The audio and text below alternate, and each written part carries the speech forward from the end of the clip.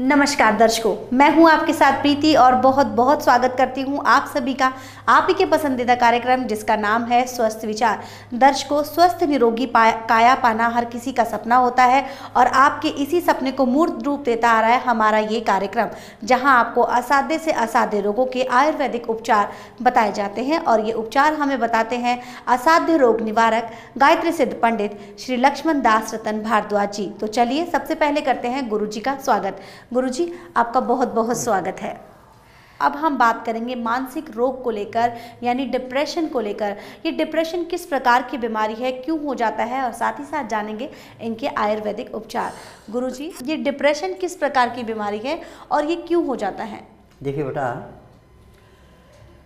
Depression एक gas का रोग है। जी।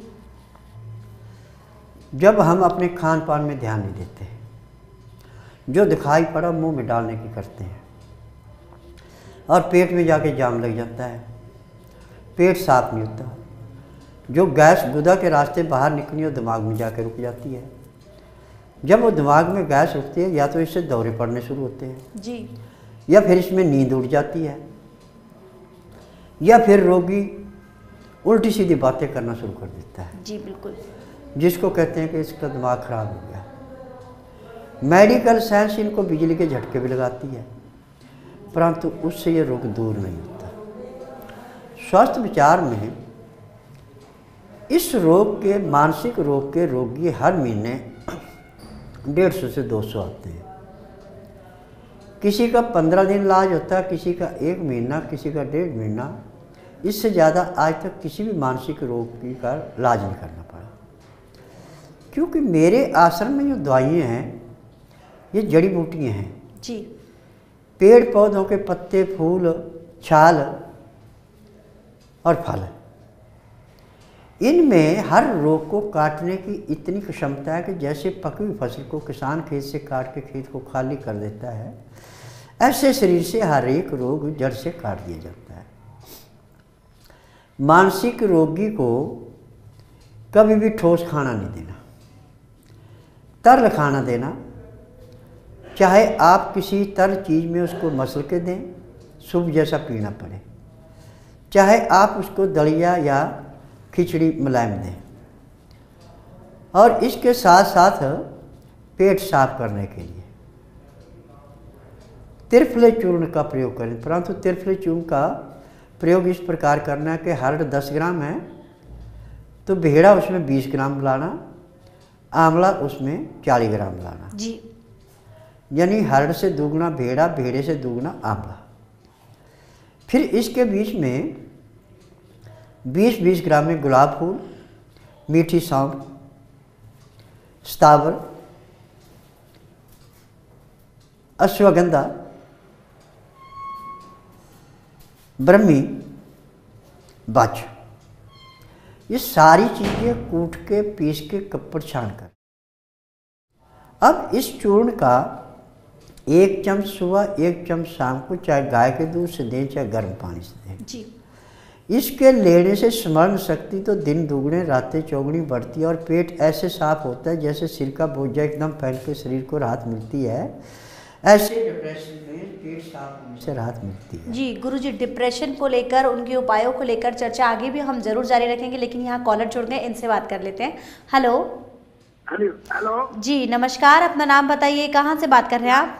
नाम मदन गिर से बोल रहा हूँ जी राजकुमार। जी प्रश्न कीजिए आप गुरुजी सुन रहे हैं आपको। एक तो पेट साफ़ नहीं होता मेरा और दूसरा मेरे सिर में दाने निकले हुए बार बार आ जाते हैं। जी। जब नाभ भी अपनी जगह से हट जाए तो आप जितने मर्ज़ी यत्न करें और सुबह जो खाली पेट पानी पीते हैं इससे रोग दिन दुगने रातें चौगनी बढ़ता है। यदि इस रोग से हमेशा के लिए मुक्ति पाना चाहते हैं तो आप बुधवार छोड़कर गुरुवार से लेकर मंगलवार के बीच में किसी भी दिन मेरे आश्रम में आ सकते हैं। आश्रम में आने का नियम है कि जिस दिन आना, उस दिन रात्रि को दस बजे तक खा पी के दातन कूड़ा करके बड़ी इलायची मुँह में रख के चूसते रहें। सुबह नौ से दस के अंदर अपना नामकरण कराएँ। दस से बारह मैं नारी परीक्षण करता हूँ। बारह के बाद नारी परीक्षण नहीं करता। उसमें जो भी आपको पैर के तलुए से सिर के बाल तक का रोग मिलेगा, वो सब दवाइयाँ दी जाएँगी। यदि आप नियम से दवाई खाते हैं पीने वाली पीते हैं और जो तेल मालिश का दिया जाता है, उसको करते हैं। तो जिस दिन आप आएँगे उसी दिन आपको कम से कम 15 से 20 परसेंट आराम मिल जाएगा। और उसके बाद आपको हमेशा हर रोज़ चार बजे पेट का अलार्म लगेगा और एकदम पेट साफ़ होगा। और इसमें बंद हुई लैट्रिन आएगी इसमें दस्त नहीं लगते। जी। आज मुझे इस बात की खुशी है कि मेरे पास पूरे संसार से रोगी आ रहे हैं जो डॉक्टरों हकीमों को पैसे दे दे के थक चुके हैं। और रोग उनका दिन दुगने रात चौगनी बढ़ रहा था। आश्रम में जिस दिन आके दवाई खाते हैं उसी दिन उनको किसी को दस परसेंट किसी को पंद्रह किसी को बीस और किसी किसी को पचास परसेंट भी आराम मिल रहा है। जी। किसी को महीना दवाई खानी पड़ती है किसी को डेढ़ किसी को दो महीने दो महीने से फालतू किसी को दवाई नहीं खानी पड़ती। जी। और पंद्रह दिन की दवाई एक बारी में दी जाती है ये सारी जड़ी बूटियाँ हैं पेड़ पौधों की छालें हैं फल हैं फूल हैं पत्तियाँ हैं इनसे दवाइयाँ बनाई जाती है और दवाई लेने के दस मिनट के अंदर दवाई अपना असर दिखा देती है। ये मेडिकल साइंस की दवाइयाँ नहीं है कि अंग सुन करना है। सुन करने की दवाई कोई नहीं है। आयुर्वेद में ये दवाइयाँ हैं रोग काटने की। आज मैंने पूरे संसार को मेडिकल साइंस को चैलेंज किया था कि आपने किसी भी रोग की दवाई नहीं बनाई आपने बिज़नेस बनाया है। ये बिज़नेस ठीक नहीं है। आप कोई भी दवाई देनी है तो वो दो जिससे रोग कटे। रोग दबाने से लाभ नहीं है। जिसकी उम्र सौ साल है वो जाके चालीस साल में मर रहा है। ये आपकी एलोपैथिक दवाइयों की देना क्योंकि इसमें कोबरे सांप का जहर मरे हुए जानवरों का हड्डियों का चूरा और केमिकल है। ये सिर्फ़ उस अंग को सुन करने के लिए रोग काटने का नहीं है इससे छत्तीस किस्म के रोग और पैदा हो जाते हैं। जी। आज जो कैंसर फैलता जा रहा है किडनी फेल होती जा रही है गठिया बनता जा रहा है सांस का रोग बढ़ रहा है ये सारी हमारी इंग्लिश दवाइयों की देन है। जी बिल्कुल। तो आ, स्वस्थ विचार आश्रम में हर एक बीमारी को जड़ से खत्म किया जाता है ना कि सुन किया जाता है। गुरुजी यहाँ कॉलर हमारे साथ जुड़ गए इनसे बात करते हैं। हेलो। हाँ जी नमस्कार। जी नमस्कार। अपना नाम बताइए कहाँ से बात कर रहे हैं आप? मैं रतन बोल रहा हूँ ब्यावर से। जी प्रश्न कीजिए गुरु जी सुन रहे हैं आपको। गुरुदेव मेरी वाइफ को लंच के लंच की प्रॉब्लम लंच के अंदर जो है सुकड़न है। देखो बेटा, मेरी बात सुनो, बड़ी गौर से सुनना। इस बीमारी का नाम है हमारी भाषा में ब्रोकैट्स बचपन में जब किसी का खसरा बिगड़ जाए या नमोनिया बिगड़ जाए तो ये बीमारी पैदा होती है। इसका पूरे संसार में, आयुर्वेद में, यूनानी में, होम्योपैथिक में, एलोपैथिक में कहीं भी इलाज नहीं है। और ज़्यादा तकलीफ़ हो जाए तो उसको स्टीम देते हैं। यहाँ पे स्टीम देने का काम नहीं है। आप जिस दिन इसको मेरे आश्रम में लाएँगे उसी दिन जो इसको खाने की दवाइयाँ, पीने की दवाइयाँ दी जाएँगी और नाक में, आँख में डालने की दवाई दी जाएगी, उसी दिन इसको 10 से 15 परसेंट आराम मिल जाएगा। 15 दिन की दवाई में इसको कम से कम 50 परसेंट आराम मिलेगा। महीने, डेढ़ महीने में ये भूल जाएगी कि मैं कभी सांस की रोगी थी। क्योंकि मेरी दवाइयों के नियम है कि मेरी दवाई मेरे आश्रम के अलावा और कहीं नहीं बनती। और जो दवाइयाँ बनाई जाती हैं, ये सोने पे सुहागे का काम करती है, जड़ी बूटियाँ हैं इन जड़ी बूटियों से जो दवाइयाँ बनाई जाती हैं हर एक रोग को ऐसे ख़त्म करती हैं जैसे कूड़े करकट के ढेर को मार्चिस की तिल्ली ख़त्म करती है। यदि आपने गहराई में देखना है तो आप यूट्यूब पर जाइए, स्वास्थ्य विचार, सांस्कृतिक चैनल देखें और उसमें देखें कैसे कैसे रोगी मेरे पास आ रहे हैं और कैसे ठीक होके जा रहे हैं और कहाँ कहाँ धोखा खा के आए हैं। आज मुझे इस बात की खुशी है कि स्वस्थ विचार एकमात्र ऐसा आश्रम है जिसका पूरे संसार में किसी से मुकाबला नहीं है। स्वस्थ विचार में पैर के तलुओं से सिर के बाल तक जितने भी रोग हैं, पाँच सेकंड के अंदर बता दिए जाते हैं नाड़ी परीक्षण में कि आपको इस अंग में ये रोग है, इसमें ये रोग है, और ये दवाइयाँ खाएँगे, परहेज करेंगे तो आराम मिलेगा, परहेज नहीं करेंगे तो कुछ नहीं मिलना। इसमें परहेज बड़े सख्त हैं ठंडा पानी नहीं पीना, चाय नहीं पीनी, चीनी का प्रयोग नहीं करना, पंखे कूलर से दूर रहना एसी से दूर रहना, पानी जब पीना, गर्म पीना, लहसुन, प्याज, अदरक अधिक से अधिक खाना खाना दिन में 10 से 12 के अंदर खाना, रात्रि का 6 से 8 के अंदर खाना, ताज़ा खाना खाना खाते समय दो गिलास गर्म पानी, लहसुन, प्याज, अदरक का रस मिला के पीना तब जाके रोगों से मुक्ति मिलती है। जी बिल्कुल। बाकी अधिक जानकारी के लिए आप टीवी स्क्रीन पर दिखाए जा रहे नंबर पर संपर्क कर सकते हैं। संपर्क करने का समय है सुबह दस बजे से शाम पाँच बजे तक। गुरुजी यहाँ कॉलर हमारे साथ जुड़ गए इनसे बात करते हैं। हेलो। जी नमस्कार अपना नाम बताइए। कहाँ से बात कर रहे हैं आप? जी मैडम रितेश मैं यूपी से बात कर रहा हूँ। जी प्रश्न कीजिए गुरुजी सुन रहे हैं आपको। जी हाँ ये मु- जी हाँ गुरु जी मुझसे पूछना था कि मुझको चश्मा लगा हुआ है तो चश्मा मुझको उतरवाना है तो कैसे उतरेगा वो? जी चश्मा लगा हुआ है। देखो बेटा चश्मे लगने के दो कारण मुख्य होते हैं। माँ के पेट में जब बच्चा होता है ठंडी चीज़ों का सेवन करते हुए चश्मा ज़रूर लगेगा। और पैदा होने के बाद भी ठंडी चीज़ों का प्रयोग ज़्यादा करते हुए चश्मा ज़रूर लगेगा। ये चश्मा लगता है जब आपका नजला पर्दे के आगे जमा हो जाता है, बदल सा छा जाता है तो चश्मे का नंबर दिन पर दिन बढ़ता है। आज स्वास्थ्य विचार ने सिद्ध कर दिया कि आंधे को दिखाना, बहरे को सुनाना, गूँगे से बुलाना बाँस से संतान उत्पत्ति कराना, नमर्द को मर्द बनाना, अनहोनी को होनी करके दिखाना। यहाँ पे कोई भी बीमारी ऐसी नहीं है जिसका इलाज नहीं है। माँ गायत्री की कृपा से यहाँ पे जो भी किसी भी किस्म के रोगी आया है, सबको रोगों से मुक्ति मिली है। परंतु इसका नियम है कि औरतों के लिए सूती सूट पहनना अनिवार्य है। जो औरत पैंट पहनती है या साड़ी बांधती है, उसको मैं दवाई नहीं देता। और जो मर्द हमेशा टेरिकॉट टेरालिन टेरीबूल पहन के रखता है, उसको भी सूती सूट पहनना पड़ेगा। चाहे कमीज पजामा पहने, चाहे पैंट कमीज पहने तब दवाई दी जाती है। और जो मेरे नियम मानता परहेज करता है उसको दवाई दी जाती है परहेज नहीं कर सकता उसको दवाई नहीं दी जाती। मेरा नियम है कि नाड़ी परीक्षण में पैर के तलुओं से लेकर सिर के बाल तक जितने भी रोगी के अंदर रोग हैं उनकी सब की दवाई इकट्ठी देनी है किसी एक रोग की दवाई नहीं देते। गुरु जी यहाँ एक और हमारे साथ कॉलर जुड़ गए इनसे बात करते हैं। हेलो मैम मैं प्रभ बात कर रहा हूँ मुजफ्फरनगर से। मुझे गैस्ट्रिक प्रॉब्लम रहती है पेट फुल रहता है। जी गैस की प्रॉब्लम रहती है गुरु जी देखिए पहले मेरी बात बड़ी गौर से सुनना। जब आप परांठा बिस्कुट नमकीन पेप्सी लिमका पिएँगे खाना खाते समय पानी नहीं पियेंगे तो आपको संसार में गैस से कोई नहीं छुड़ा सकता। मेरी दवाइयों में खाना खाने के साथ दो गिलास गर्म पानी लहसुन प्याज अदरक का रस मिला के काला नम काली मिर्च मिला के पीना अति आवश्यक है। खाना खाने में पानी पीने में एक घंटा लगाना अति आवश्यक है। दिन का खाना 10 से 12 के अंदर रात्रि का खाना छः से आठ के अंदर। जी। यदि आप करते हैं तो जिस दिन मेरे आश्रम में आएँगे नारी परीक्षण होगा उसके बाद आपको गैस नहीं बनेगी। जी, बिल्कुल। बाकी अधिक जानकारी के लिए आप टीवी स्क्रीन पर दिखाए जाए नंबर पर संपर्क कर सकते हैं। संपर्क करने का समय है सुबह 10 बजे से शाम 5 बजे तक। गुरुजी, यहाँ वक्त तो चला, एक छोटे से ब्रेक का। दर्शकों आप कहीं मत जाइएगा। देखते रहिए स्वस्थ विचार। ब्रेक के बाद एक बार फिर से आप सभी का स्वागत है। आप ही के पसंदीदा कार्यक्रम स्वस्थ विचार में। गुरुजी, यहाँ एक और कॉलर जुड़ गए इनसे बात करते हैं। हेलो। हेलो। जी नमस्कार अपना नाम बताइए कहाँ से बात कर रहे हैं आप? नाम ऐसा है जी राजकुमार है मेरी सिस्टर को ना पथरी है। जी पथरी है गुरुजी। देखो पथरी का इलाज टीवी के माध्यम से नहीं होता है उसके लिए आश्रम आना पड़ता है। जिस दिन आश्रम आएँगे नाड़ी परीक्षण करेंगे नाड़ी परीक्षण में जो जो भी आपकी बीमारियाँ सब दवाइयाँ दी जाएँगी। परंतु आश्रम आने का नियम है कि जिस दिन आपने आना है, बुधवार नहीं होना चाहिए। बुधवार छोड़कर गुरुवार से लेकर मंगलवार के बीच में रात दस बजे तक खा पी के दातन कूड़ा करके बड़ी इलायची मुँह में रख के चूसते रहें। सुबह नौ से दस के अंदर आप अपना नामकरण कराएँगे, दस से बारह में नाड़ी परीक्षण करूँगा। नाड़ी परीक्षण में पैर के तलवों से सिर के बाल तक के जो भी आपके शरीर के अंदर रोग होंगे, सब दवाइयाँ दी जाएँगी।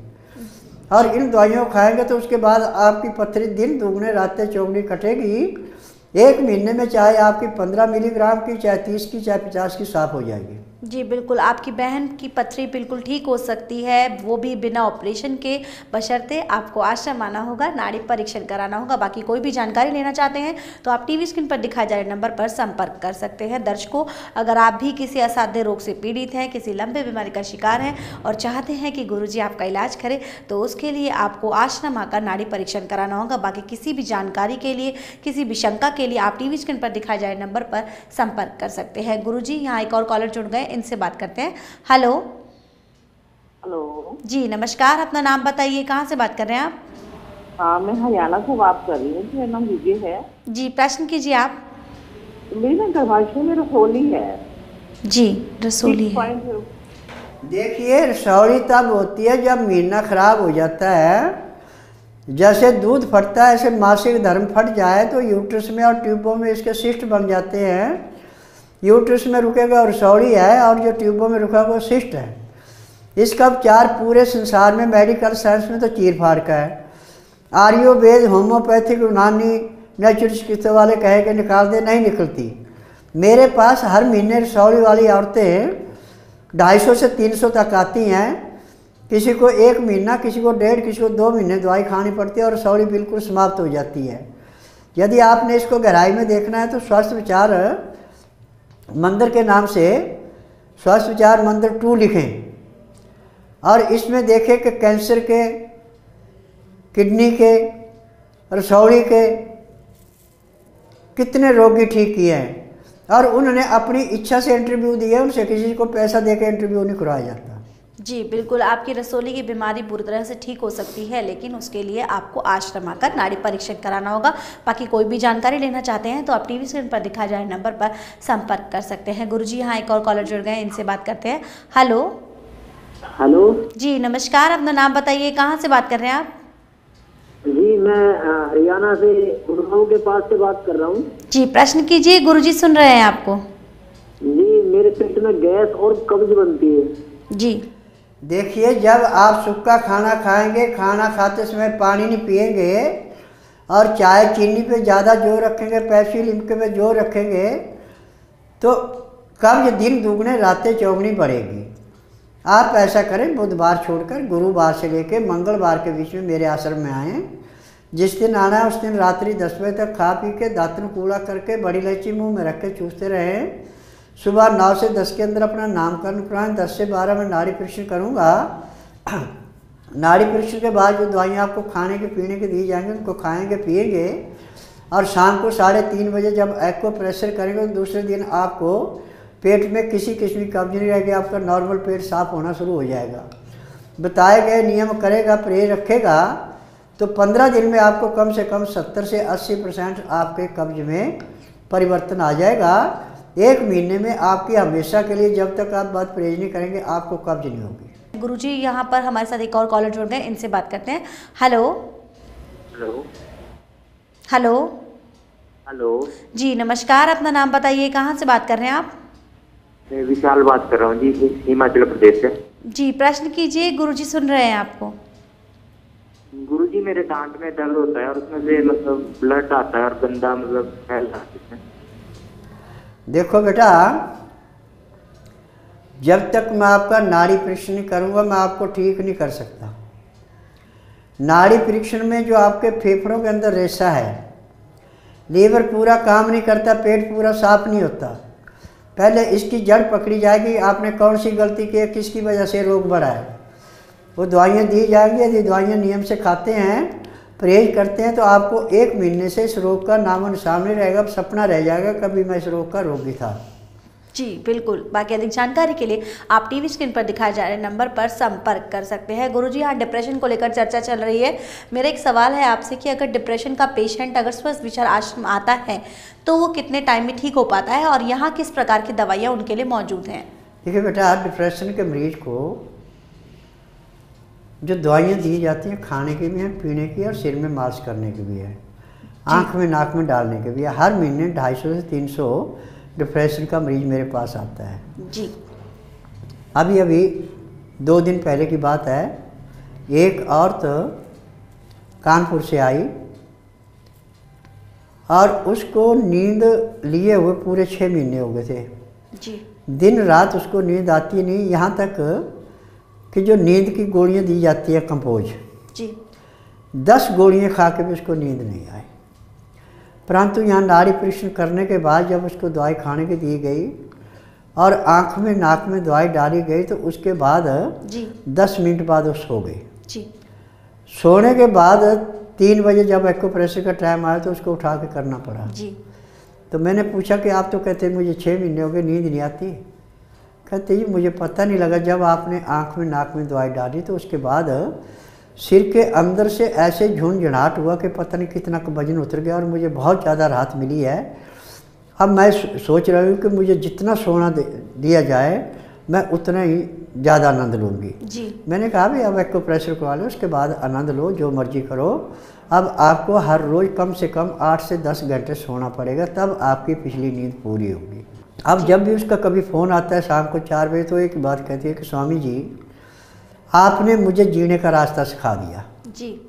आज तक मैं जिस भी हकीम के पास गई जिस डॉक्टर के पास गई जिस वैद्य के पास गई जिस योगी के पास गई उन्होंने यही कहा कि आपका मानसिक रोग है ये तो आपको अपने आप ही ठीक करना पड़ेगा इसकी हमारे पास कोई दवाई नहीं है। जी बिल्कुल। तो स्वस्थ स्वास्थ्य विचार विचार में जो आपने दवाई मुझे दी है इस दवाई पीने के बाद और आँख में नाक में दवाई डालने के बाद जैसे किसी नदी पे बाँध बाँध के उसके गेट बंद कर देते और पानी रुक जाता है ऐसे मेरे को भयंकर नींद आ रही है और आप भी आप जो बोल रहे हैं मुझे पूरी समझ नहीं आ रही है नींद में। तो मैंने कहा कि कोई बात नहीं एक्को प्रेशर के बाद देखना। जब एक्को प्रेशर किया उसकी नींद खुल गई तो कहती है कि स्वामी जी आज छः महीने के बाद मैं सोचती हूँ कि मैं संसार में हूँ। जी बिल्कुल। पहले मैं सोचती कि मैं पता नहीं कौन सी जगह पे चली गई जिसने मेरा खाना पीना सोना हराम कर दिया। जी बिल्कुल। ना तो मुझे खाना अच्छा लगता था, ना किसी का बोलना अच्छा लगता था। ऐसा आश्रम है जहाँ हर एक बीमारी का इलाज संभव है। अगर आप डिप्रेशन जैसी गंभीर बीमारी से घिरे हुए हैं और चाहते हैं कि इस बीमारी से आप बाहर आए तो आप गुरुजी के पास आकर नाड़ी परीक्षण कराकर अपना इलाज अपने साथ ले जा सकते हैं। गुरुजी यहाँ एक कॉलर जुड़ गए इनसे बात करते हैं। हेलो हेलो जी नमस्कार अपना नाम बताइए। कहाँ से बात कर रहे हैं आप? मैं दिल्ली से बात कर रही हूँ मैम। मुझे पंडित से बात करनी है। जी प्रश्न कीजिए गुरुजी सुन रहे हैं आपको। मैम हमारे बच्चे नहीं हैं हमारी डेट भी दो तीन साल से बंद हो गई दवा खाती हूँ तो हमारा पीरियड आता है फिर नहीं आता और मेरी उम्र चौवालीस देखो बेटा इसमें आपको दोनों मियाँ बीबी को मेरे आश्रम में आना पड़ेगा। नाड़ी परीक्षण के बाद आप में कमी होगी तो आपको दवाई दी जाएगी आपके आदमी में कमी होगी तो उसको दवाई दी जाएगी। और यदि आप दवाई नियम से लेते हैं, परहेज करते हैं तो छः महीने में आपकी गोद भर जाएगी। आप ऐसे हज़ारों मेरे इंटरव्यू हैं जिनको डॉक्टरों ने, हकीमों ने सबने हाथ खड़े कर दिए कि आप संतान पैदा नहीं कर सकते। आज उनकी तीन तीन, चार चार संतानें जो हैं, आज उनके पास हैं और उन डॉक्टरों को उन्होंने जवाब दिया कि आपने कैसे कहा था कि संतान नहीं होगी और स्वस्थ विचार में जाके हमने विचार कराया, हमें संतान ये मिली है। जी, बिल्कुल। और जब उन्होंने उसका निरीक्षण किया और डीएनए टेस्ट किया तो उनका दोनों का खून मिला बच्चे के अंदर। तो उन्होंने अपनी थ्योरी को अस्वीकार किया, कहते हैं, हमारे पास तो ऐसा इलाज नहीं है, उनके पास इलाज है, इसके हम कह नहीं सकते। जी बिल्कुल। अगर आप भी चाहते हैं कि आपकी गोद में नन्हे मुन्ने नौनिहाल खेलें तो उसके लिए आपको आश्रम आना होगा क्योंकि आपको मैं पहले भी बता चुकी हूँ कि गुरुजी ने अपने इतने सालों के अनुभव में ना जाने कितने ही दंपतियों को माता पिता बनने की सुख की अनुभूति कराई है। बाकी कोई भी जानकारी लेना चाहती हैं कोई शंका चल रही है आपके मन में तो आप टीवी स्क्रीन पर दिखाए जाए नंबर पर संपर्क कर सकते हैं। गुरुजी आप यहाँ आए लोगों की समस्याओं का समाधान किया उसके लिए आपका बहुत बहुत शुक्रिया। और दर्शकों आपसे भी मैं चाहूँगी इजाज़त। नमस्कार।